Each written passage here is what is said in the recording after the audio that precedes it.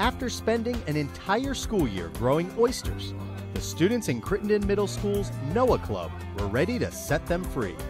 And with the help of the Chesapeake Bay Foundation, this culminating field trip benefited the Bay and built upon students' own meaningful watershed educational experiences. 23 Crittenden students and their science teachers joined instructors with the Chesapeake Bay Foundation at Felgates Creek along the York River.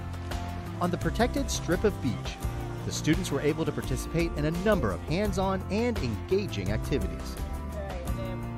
Students used digital probes to measure pH levels, temperature, and dissolved oxygen in their water samples.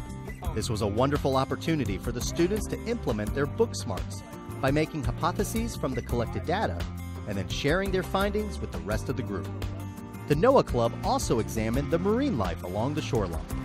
By working in teams, the students dragged nets towards the beach and then identified the aquatic life living throughout the shallow water column.